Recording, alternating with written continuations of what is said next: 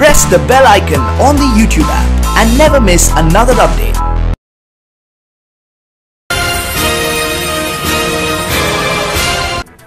अलवर थानागाजी की gang rape पीड़िता को पुलिस कांस्टेबल बनाया जाएगा।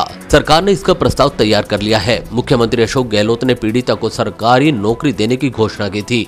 इसी के तहत सरकार ने पीड़िता को नौकरी देने की प्रक्रिया शुरू कर दी है। वहीं कुछ दिन पहले पीड़िता ने भी पुलिस में जाने की इच्छा ज़ाहिर की थी। पीड़िता ने कहा था कि पुलिस में नौकरी करना चाहती है ताकि ऐसे जघन्य अपराध करने वालों को कड़ी से कड़ी सजा दिला सके।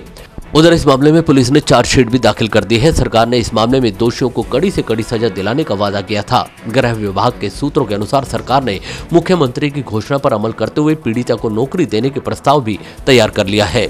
अब इसे पारित कराने के लिए कैबिनेट में भेजा जाएगा.